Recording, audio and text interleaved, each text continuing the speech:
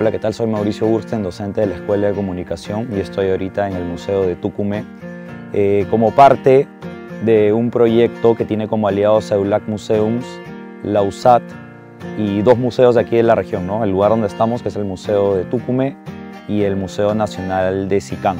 Estos aliados forman parte de un proyecto yo en específico estoy dando un taller de antropología visual y bueno, la experiencia que he tenido hasta el momento ha sido magnífica.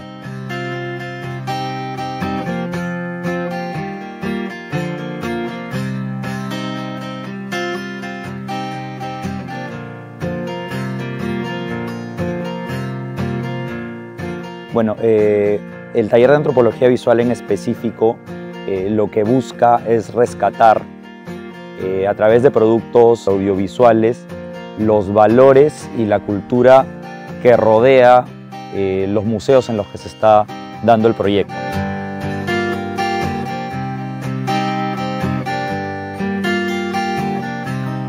El tema del lenguaje era que la gente conozca básicamente cómo contar cuáles son los elementos básicos que conforman la imagen en movimiento y el cine.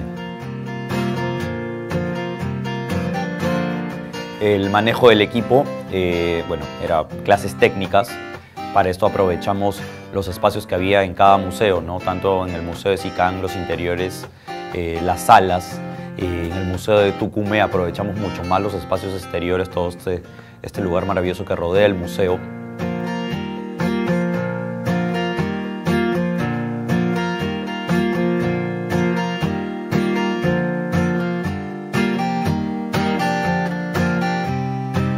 Bueno, mi nombre es Ángel Manuel Sandoval de la Cruz. Eh, soy sociólogo del Museo de Tucumé y ejerzo ahora el cargo de coordinador local del proyecto EULAC. El proyecto EULAC se viene desarrollando eh, en esta zona del norte en dos espacios. Eh, uno es Trujillo y el otro es Lambayeque.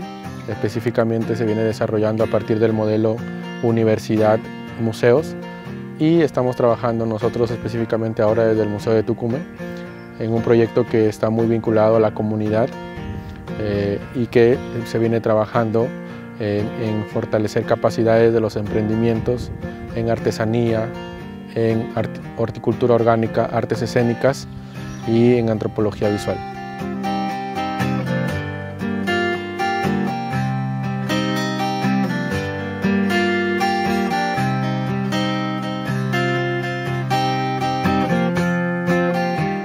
Bueno, eh, nosotros valoramos mucho la alianza que existe entre, entre USAT y los museos a partir del proyecto de EULAC y el financiamiento que dan, porque ha permitido eh, que este modelo museos y universidad puedan llevar a cabo este proyecto que va a beneficiar a la mayoría de la comunidad local.